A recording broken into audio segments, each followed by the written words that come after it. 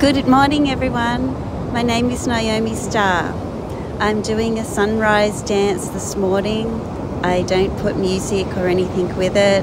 I just think it's lovely to watch the sunrise and to watch me do different dance moves, but also hear people chatting in the background and watching the seagulls. It's just like this is my everyday life and I'm really happy to share it with you because it's actually magical. So I hope you enjoy.